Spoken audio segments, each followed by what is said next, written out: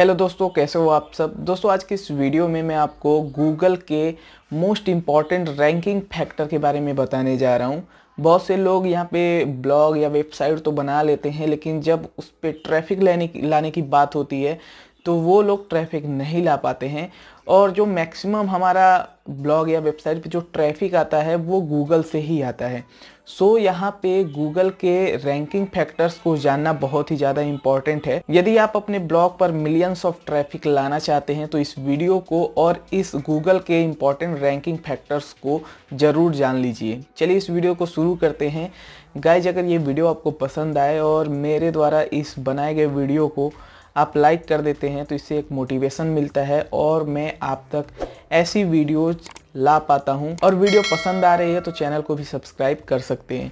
आइए इस वीडियो को शुरू करते हैं। यहाँ पे पहला रैंकिंग फैक्टर है, वो है दोस्तों बैकलिंक्स लेकिन यहाँ पे बैकलिंक्स तो लोग बहुत सारे बना लेते हैं बट यहाँ पे कमी क्या रह जाती है, लोग बैकलिंक्स के दो मेजर पार्ट को भूल जाते हैं।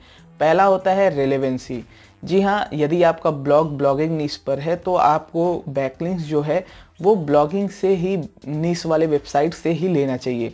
अदरवाइज़ रेलेवेंसी नहीं रहेगी तो गूगल उसे क्वालिटी बैकलिंक्स में काउंट नहीं करेगा। और दूसरा है अथॉरिटी यदि आप अपने बैकलिंक्स को रिलेवेंट वेबसाइट से बैकलिंक्स तो ले रहे हैं बट यहाँ पे उस ब्लॉग की जो अथॉरिटी है वो काफ़ी कम है। यानी कि यहाँ पे अथॉरिटी को ध्यान देना है, यानी कि गूगल उस पर ट्रस्ट करता है उस ब्लॉग पर, तभी आप उस बैकलिंक्स को लीजिए। यदि आप किसी नए ब्लॉग से वेबसाइट से यदि आप बैकलिंक्स लेते हैं तो उतना वो बेनिफिशियल आपके लिए नहीं होगा। दूसरा यहाँ पे रैंकिंग फैक्टर्स है, वो है फ्रेशनेस जी हाँ लोग कंटेंट लिखते जाते हैं, लिखते जाते हैं। सौ आर्टिकल मैंने लिख लिया, लेकिन यहाँ पे मेरा आर्टिकल रैंक नहीं कर रहा है। तो यहाँ पे प्रॉब्लम ये होती है कि वो कंटेंट जो लिख रहे हैं, वो पुराने ज़माने में जो लोग लिखते थे how to earn money online YouTube से पैसा कैसे कमाए तो ये पुराने टॉपिक्स है, इस पर already hundreds of thousands of post already हैं। तो आप इस पर कॉन्टेंट लिखेंगे तो आप कहाँ से रैंक कर पाओगे? पहले से ही पॉपुलर वेबसाइटें इन सभी टॉपिक पर रैंक कर रही हैं। तो आपको रैंक करना है तो आपको फ्रेशनेस देखना होगा, आने वाले समय में क्या लोग पढ़ना चाहेंगे, इस पर ध्यान देना होगा। यानी कि आपको ऑब्ज़र्व करना है और उसके बाद ही आपको आर्टिकल लिखना है। और जो पोस्ट आपके गूगल में आ रहे हैं, उसको भी आपको अप टू डेट रखना है। तभी आप फ्रेश कंटेंट गूगल के सामने दिखा पाएँगे। तीसरा रैंकिंग फैक्टर है सर्च इंटेंट ऑफ़ यूज़र अभी देखिए, मान लीजिए, मुझे यहाँ पे ब्लू होस्ट पर लॉगिन करना है। तो मैं यहाँ पे ब्लू होस्ट लॉगिन पर बहुत सारे सर्च वॉल्यूम है और यहाँ पे कंपटीशन भी काफ़ी लो है। लेकिन यदि आप उस पर रैंक करना चाहें तो क्या आप ब्लू होस्ट लॉगिन पर रैंक कर पाएँगे? बिल्कुल नहीं कर पाएँगे। ब्लू होस्ट लॉगिन पर, यहाँ पे ब्लू होस्ट में यूज़र क्या चाहता है? ब्लू होस्ट पर लॉगिन करना चाहता है। तो वहाँ पे उसका इंटेंट है लॉगिन करना, ना कि यहाँ पे आप अपने आर्टिकल को वहाँ पे रैंक नहीं करवा पा, पाएँगे। यदि आप वो पढ़ना चाहता कि लॉगिन कैसे किया जाता है, तब यहाँ पे वो आपके आर्टिकल को गूगल यहाँ पे रैंक कर सकता है। बट यहाँ पे यूज़र का इंटेंट है, वो गूगल सॉरी ब्लू होस्ट पर लॉगिन करना चाहता है। तो यहाँ पे आपका रैंक करना नामुमकिन है। दैट्स वाई आपको यहाँ पे यूज़र के इंटेंट को भी देखना होता है। फोर्थ रैंकिंग सिग्नल है, वो है दोस्तों किसी पार्टिकुलर टॉपिक पर यहाँ पे कंटेंट लिखना मान लीजिए एक एग्जांपल दे देता हूँ मैं अपनी वेबसाइट का ब्लॉग का। यहाँ पे देखिए एक ब्लॉग है मेरा the Hindi biography dot in तो यहाँ पे देख सकते हैं मैं केवल बायोग्राफी के बारे में लिखता हूँ। तो यहाँ पे मेरा एक पर्टिकुलर नीस है और बायोग्राफी में लिखता हूँ हिंदी में लिखता हूँ। तो यहाँ पे मेरे आर्टिकल्स ज़्यादा रैंक करते हैं। यहाँ पे इसलिए आप रैंकिंग सिग्नल के तौर पे इसे भी देख सकते हैं।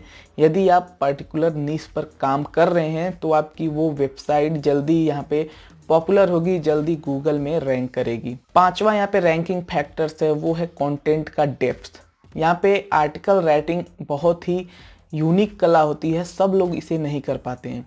यहाँ पे मान लीजिए मैं एक सिंपल सा उदाहरण देता हूँ। मान लीजिए आपको आर्टिकल लिखना है व्हाट इज़ एस तो आपको केवल ये नहीं लिखना है एस क्या है? अब एस के अंदर जो जो चीज़ें आती हैं ऑफ़ पेज ऑन पेज इसमें भी बहुत सारे यहाँ पे कैटेगरीज बनती जाती हैं और इसमें पूरा एक कंप्लीट आर्टिकल लिखने में आपको बहुत ज़्यादा टाइम लगने वाला है। तो यहाँ पे आपको जितना डेप्थ में आप लिखेंगे, जितना डेप्थ में घुसेंगे आर्टिकल लिखने में, उतनी ज़्यादा आपको रैंकिंग मिलेगी। जी हाँ आप आर्टिकल को लंबा लिखें तभी आप यहाँ पे रैंक कर पाएँगे। छोटे आर्टिकल भी रैंक करते हैं बट उसे आप बढ़ा नहीं सकते हैं। वो उतने ही वर्ड्स में पूरा कंप्लीट हो जाता है। दैट्स वाई वो रैंक करते हैं। और यदि आप अपने आर्टिकल को डेप्थ में लिखेंगे तो ये एक रैंकिंग सिग्नल गूगल को मिलेगा। छठा यहाँ पे मोस्ट इंपॉर्टेंट रैंकिंग सिग्नल है, वो है आपके वेबसाइट की स्पीड यहाँ पे अभी जल्द ही गूगल ने यहाँ पे कोर वेब वाइटल्स को भी एक रैंकिंग सिग्नल के तौर पे माना है। सो यहाँ पे आपके साइट की स्पीड भी काफ़ी मैटर करती है। इसके लिए आप क्या कर सकते हैं? वर्डप्रेस पे हैं तो आप प्लगइन्स को यूज़ कर सकते हैं और इस पर मैंने वीडियो भी बनाया है कि वर्डप्रेस वेबसाइट को कैसे आप स्पीड अप कर सकते हैं। सो उसका लिंक आपको आई बटन पे मिल जाएगा, साथ ही साथ डिस्क्रिप्शन में मिल जाएगा। और यहाँ पे स्पीड अगर बढ़ाना चाहते हैं तो आपको फोकस करना होगा एक बढ़िया वेब होस्टिंग की तरफ़। जी हाँ वेब होस्टिंग बहुत ज़्यादा मैटर करता है आपके साइट की स्पीड को इम्प्रूव करने में।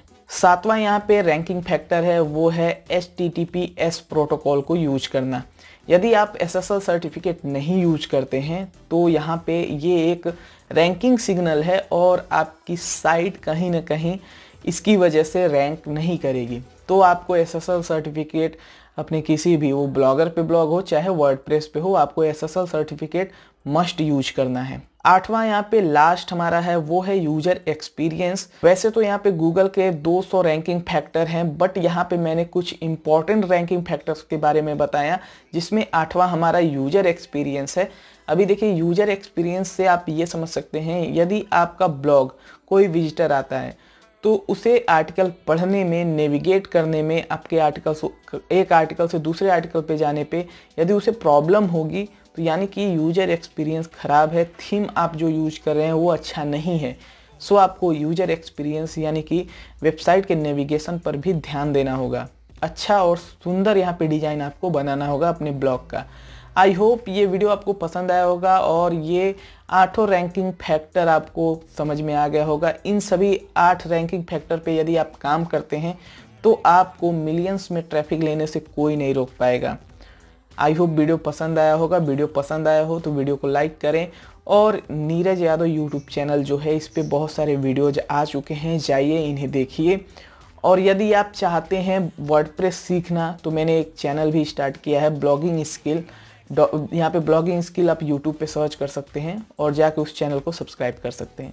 धन्यवाद।